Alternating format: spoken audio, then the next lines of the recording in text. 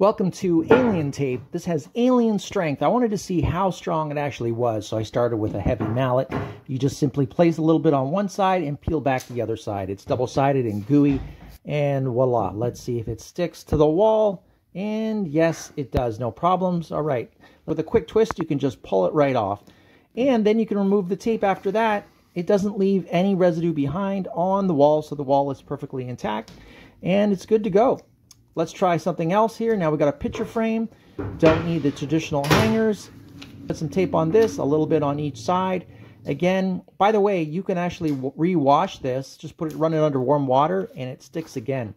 All right, let's try the wall again. So it's no problem. The picture stays just fine. And again, trying to take the picture off, no problem there. You just twist a little bit, and you can see how much it really pulls. You have to really tug to get that off, and there it comes and it pulls off. Again, I just pulled it right off the wall. It doesn't leave any residue.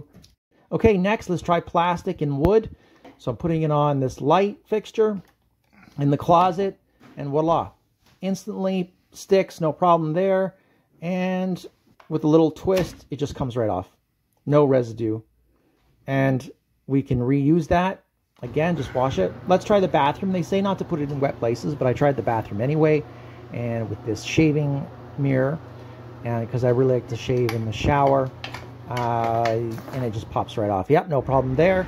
And I really like to put my phone in weird places to do videos. So this is um, the metal phone against metal outside.